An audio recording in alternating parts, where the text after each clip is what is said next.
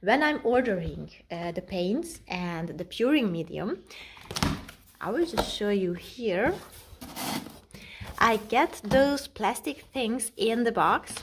to fix the paints that they can arrive in a standing position like here